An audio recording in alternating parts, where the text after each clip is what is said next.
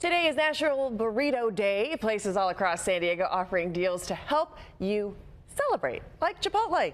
It's giving away 20,000 burritos through the Grubhub app with the purchase of $20 or more. You can also enter for a chance to win one of 10,000 free burritos being given out on their Twitter. Taco Bell is offering a similar deal with a free grilled cheese burrito. A grilled cheese burrito. But you also have to spend $20 or more. Rubio's is selling all the burritos today for 8 bucks. Is there a place actually giving just free burritos? Oh no, these are just deals. Okay.